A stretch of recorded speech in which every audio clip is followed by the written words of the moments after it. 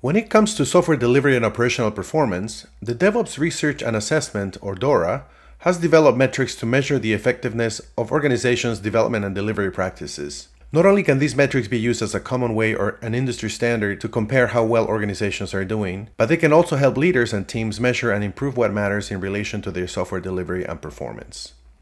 There are a total of five metrics, which are the following 4 plus availability. We'll cover the updates to the deployment frequency and lead time for changes graphs in GitLab, where deployment frequency is how often does your organization deploy code to production or release it to end users, and lead time for changes is how long does it take to go from code committed to code successfully running in production.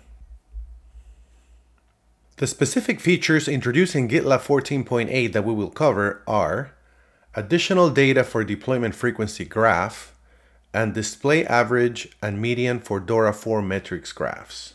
Let's go over the additional data for deployment frequency graph first. This is the way the deployment frequency used to look like prior to GitLab 14.8. Notice that there is no line for the average in the graph. Let's see the way it looks like in this new release.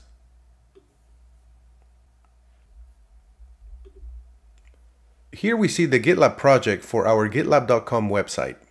Let's head over to Analytics Value Stream.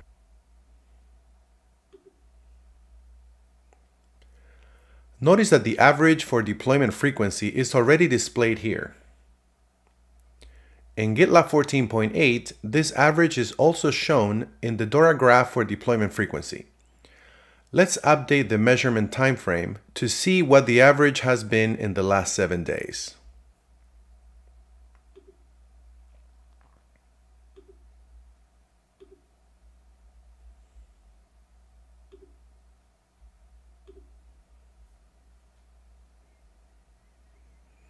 Now let's head over to Analytics CI/CD and click on Deployment Frequency.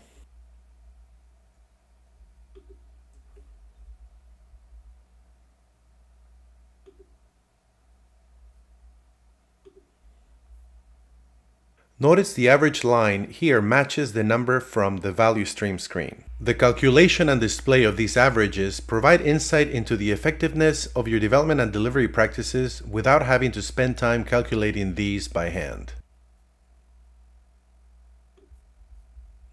The other update to GitLab is related to the display average and median for DORA 4 metrics graph. Since we already covered the deployment frequency graph, let's go directly to the lead time graph.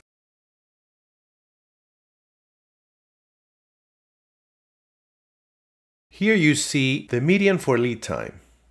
It covers the last seven days, but like in the other graph, you can adjust the date range to last month or last 90 days. The calculation and display of these averages and medians streamline the evaluation of the effectiveness of your development and delivery practices. They also help you better measure and improve what matters in relation to your software delivery and performance. I hope you enjoyed this video and until next time.